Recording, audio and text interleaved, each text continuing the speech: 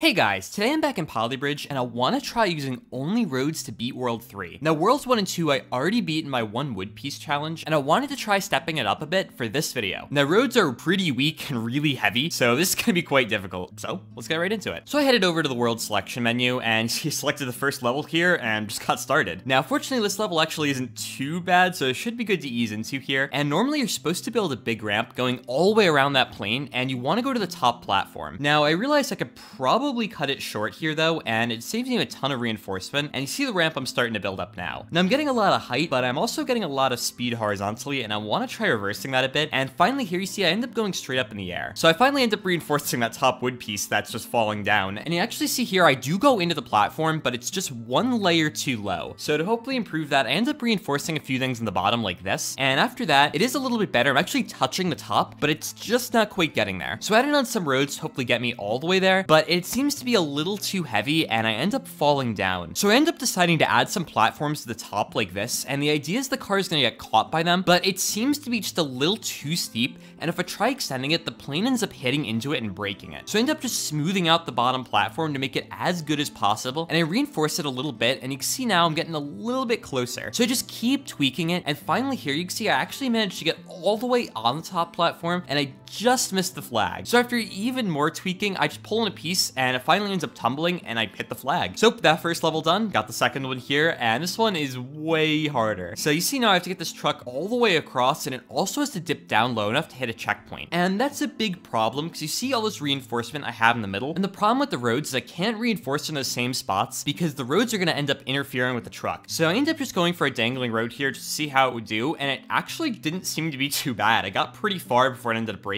So my next thought here was to actually stabilize the first two roads and the last two roads and the idea of this is that it's going to create a smaller section that's dangling and hopefully make it a little bit stronger. Now, unfortunately here, it ended up breaking, so I have to use a diamond like this, but actually it wasn't really too big of a deal. You see, truck gets right over it just fine, but it ends up snapping that second road, and I have to make that a diamond as well. But after I do that, you see, ends up going into the diamond, and it gets way farther. It's almost all the way to the middle before it ends up breaking here. So I ended up just copying this to the other side, and I was curious to see if it'd make it way better as well, but it seems like the truck ends up falling a little bit earlier. And the problem here, I think, is that the roadway is now a little too shallow, and I have to make it dip down a little bit further to behave better. So I end up doing that here, and you see now, truck gets on it, and it ends up getting to just about the same point as before when it ends up breaking. So I try lowering it even more to hopefully make it better, but it seems to break a little bit earlier this time, so it seems like I reached that local maximum. Now I also tried to reinforce the center of the bridge here, but it broke way earlier, and I think it was just all the extra weight from those roads was not doing it. So I decided to support the third road on each side to give a little bit less of a dangling section, and I figured this would probably be enough to reach all the way to the middle and get to the other side. But now I actually have to make this piece of diamond as well because it ends up getting overstressed. So just do that here. And you see now giving it a test, it ends up breaking in about the same spot, but this time I actually forgot to lower it again, so now it should be doing a lot better. So see, truck it's on it. But the problem is all the extra weight from those roads I added is now a bit of a problem because as the truck comes down, it ends up snapping the diamond. So I tried lowering the first two, and that actually did seem to help the initial shock, but it's still a little too weak. And you see here, one of the legs ends up breaking. So I end up doubling up the first diamond like this. And once I have that done, see, truck actually ends up getting to its checkpoint and it gets all the way to the other side. But just before it gets on the last platform, it ends up kind of doing a wheelie and falling down. So I end up lowering that piece a bit and it helps, but it's still just not enough for it to make it stop falling. So I lowered the roadway just a little bit more. And finally here you see truck ends up getting up it and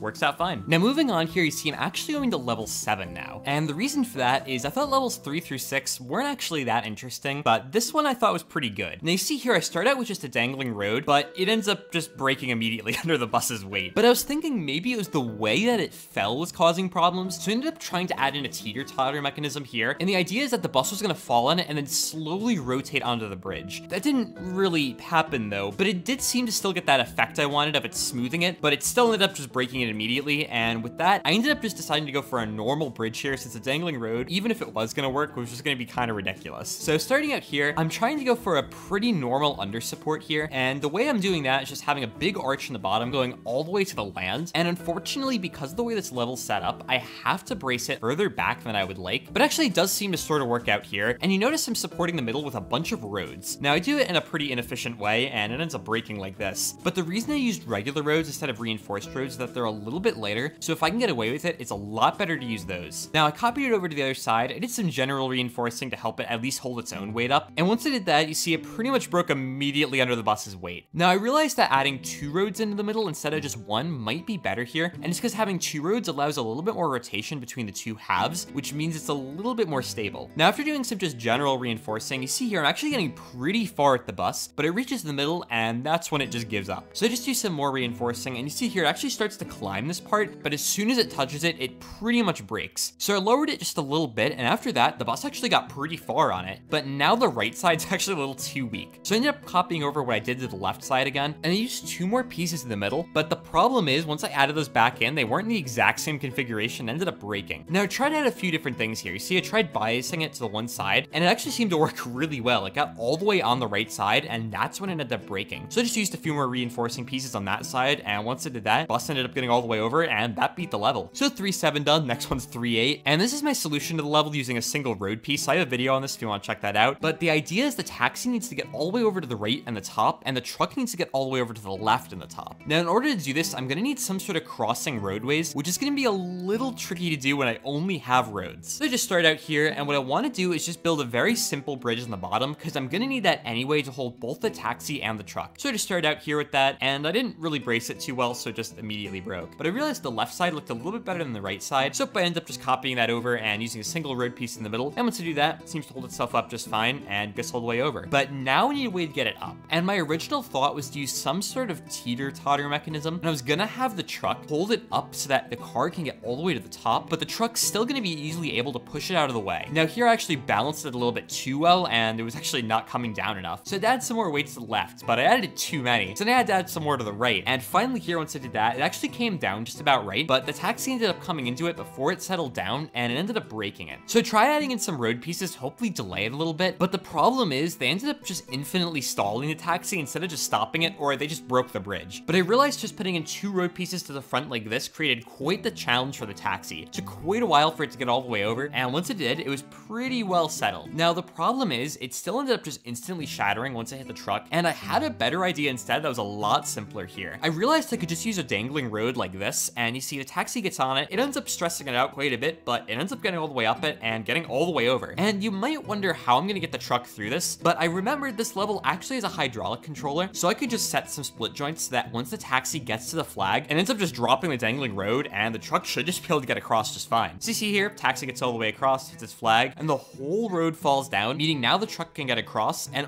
all I have to do is get the truck on top. And this is probably gonna be the hardest part of the level. So starting out here, my first thought was to use some sort of structure with a trapdoor to allow the taxi to pass under it, but then it'll create a roadway for the truck to get on top. Now, the reinforced road is a little bit too heavy, so I had to switch to a normal road, but it was still too heavy. So I had to create a smoother roadway on the bottom, and this ended up allowing the taxi to get across, but this is way too steep for the truck, and it can't even get over it at all. So I had to extend it out a bit, and to do that, I have to use this triangle shape to brace it against the land. But now it's just way too heavy for the taxi to push, and I'm not really getting anywhere. So what I was thinking of doing was adding some under supports here and using a counterbalance system to hopefully help the taxi a little bit on this. But it ended up being too heavy and it just broke my structure. So I had to delete it and I ended up going for an over support instead. And this actually ended up breaking it as well. But this time you see the taxi was able to get under it. So what I did is just reinforce the back a little bit more. And now when I try to run the taxi through it, it actually does sort of work, but then it ends up breaking too early. And I realized here if I delete a single road piece, it ends up getting under it just fine and ends up not shattering when it hits the bottom. But when it comes back down again, it does end up breaking, but it breaks in a way that almost seems to be better. But the truck ends up hitting it at a weird angle and that causes some problems. But I ended up raising the roadway up just a little bit for the truck. And you see here, I got this front wheel over and it just needs that back wheel. So I ended up raising it up a little bit more. And after that, taxi just barely gets under it.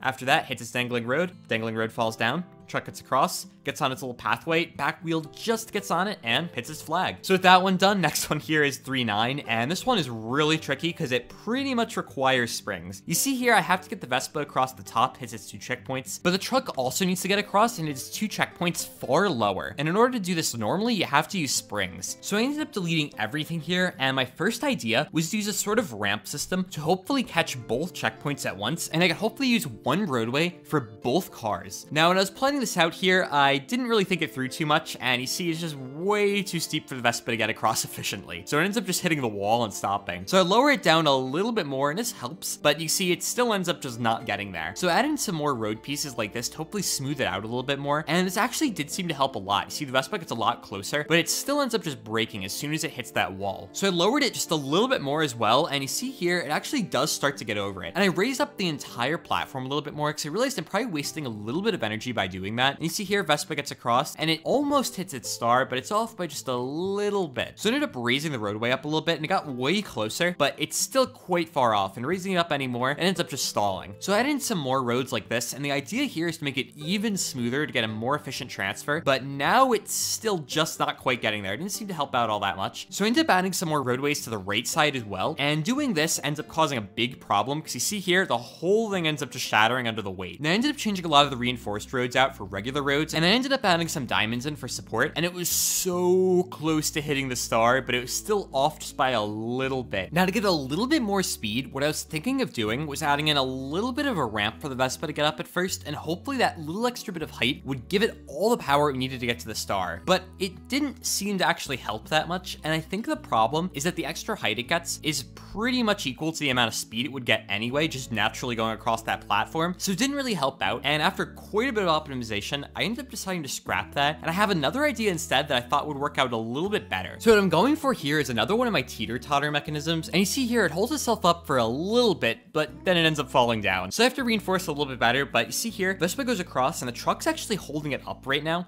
so it ends up hitting its checkpoint, and you see it start falling. And I can use this falling to allow another roadway to appear, and that's the one the truck's gonna ride across, and it's gonna be able to hit its checkpoint. And you see there, I extended it out, and the Vespa actually hit its checkpoint, and I ended up copying it over to the other side, just temporarily to figure out what sort of range I would need. After that, I ended up deleting the one on the right side, and I tried reinforcing this middle platform just on the rock. Once did that, you can see here, Vespa gets across just fine, hits the middle checkpoint, roadway on the left falls down entirely, and now all I need to do is get the one on the right. And I thought for sure this would probably just work, and you see now, Vespa goes across, goes over to the middle, tries to go over to the right, but now it's starting to fall, and it actually falls a little too early, and the Vespa just doesn't get there. So I tried adding some more roads here, and adding more weight, I was hoping would make it fall a little bit slower, and originally it was actually too much stress and ended up breaking, but even after reinforcing it, it ended up not really working, and adding on some more weights made it fall even earlier. So I reverted to what I had before, and instead I made it fall in a little bit of a different way, and once I did that, you see here it actually doesn't get across, but it raises up at the end, and I can use this raising up motion to allow another road on the bottom to catch it so that it can get all the way to its flag. Now you see there, once I got it put in place, it was caught, but it was still a little too low. So I raised up that roadway a bit, and once I had that, Vespa got across just fine, and all I have to do is make a roadway for the big truck to get across. And I started out just by making the first node for the truck to ride across. Once I had that, I just started making up the roadway like this, and then I just started bracing it. Fortunately, the bracing was actually pretty easy here because it was a pretty short length of road, so it wasn't too bad. And you see now, truck gets across just fine, and it ends up reaching its checkpoint quite comfortably, and easily enough gets over it has a ton of power. Now, with that done, just have to make the second roadway, and it's basically the exact same thing, except for some reason ended up being a little bit more annoying to tune. But you see here, after just couple tries, Vespa gets across, after that, truck gets across as well, his second checkpoint,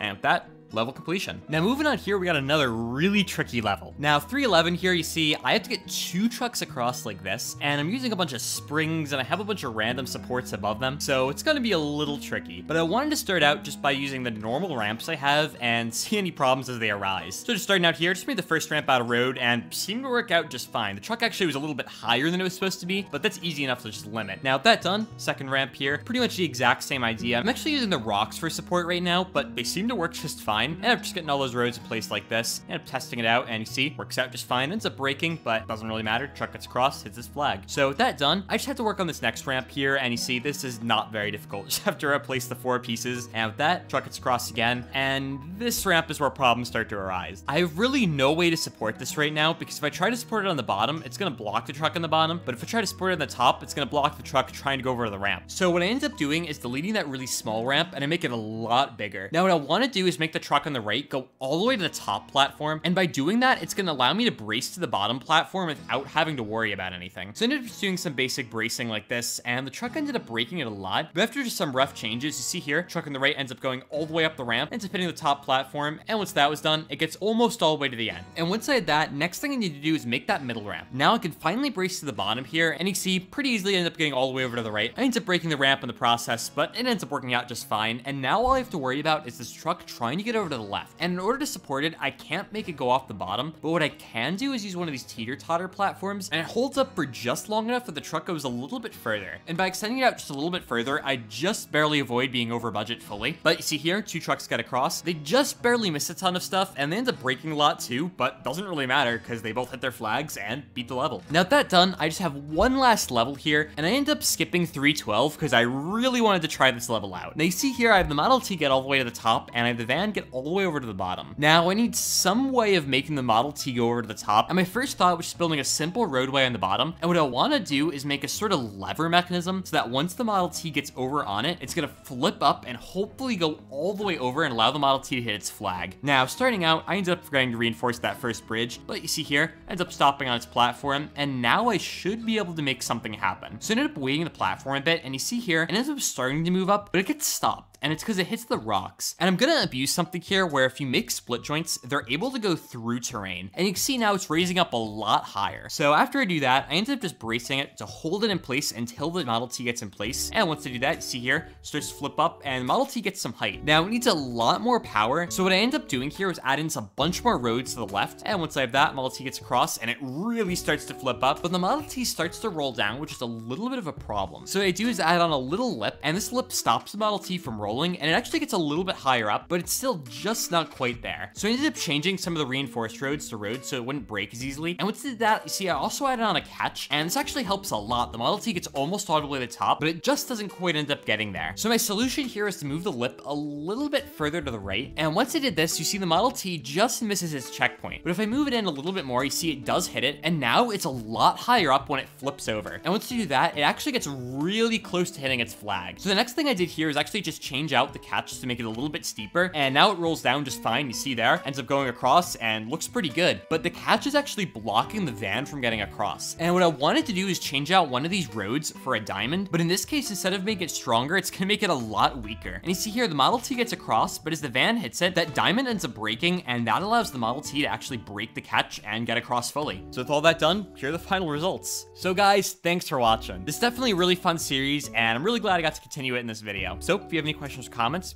feel free to leave them down below. Make sure to subscribe if you want to see more content like this, and otherwise, until next time.